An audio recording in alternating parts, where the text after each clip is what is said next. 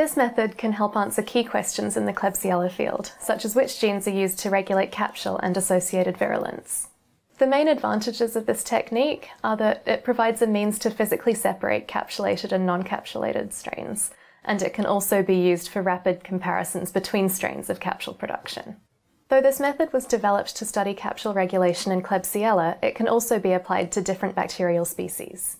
Generally, individuals who are new to this method will struggle because pouring the gradients and adding the cells to the gradients can be quite difficult. Visual demonstration of this method is critical as we show the techniques that are difficult to master, providing suggestions and tips to help the user. To begin, select a single colony from a stock plate with a sterile loop and inoculate 10 milliliters of an appropriate broth.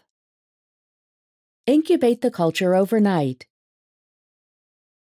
Then transfer the culture to a 15 milliliter tube and centrifuge. Next, discard the supernatant and resuspend the pellet in 2 milliliters of PBS. Repeat the centrifugation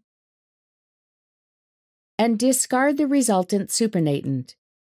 Then resuspend the pellet in 2 milliliters of PBS.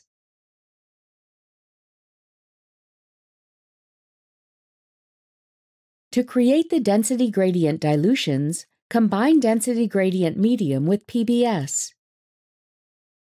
Then aliquot 600 microliters of each gradient dilution into individual 2 milliliter tubes. Take up